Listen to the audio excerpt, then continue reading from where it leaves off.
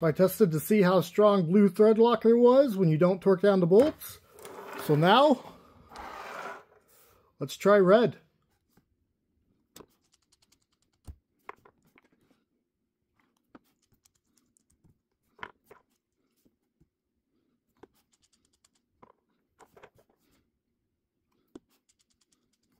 Okay, I'll let those sit for a day, and then I'll go ahead and test them with the torque screwdriver.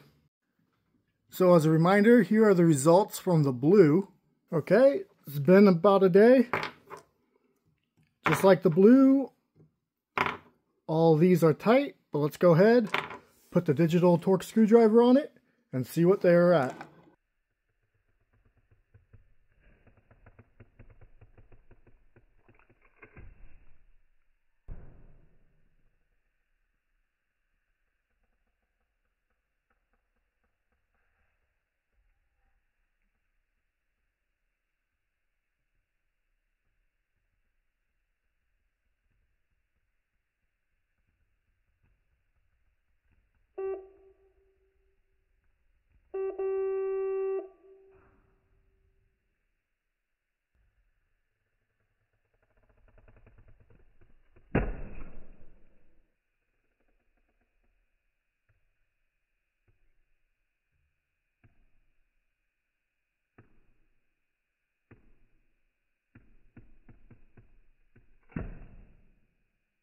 One interesting thing I noticed is when the blue was broken loose, it was loose.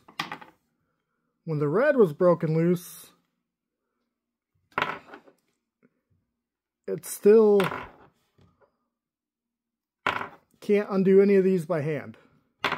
But these have all been broken loose with tools. So there you go. Now that was red thread locker.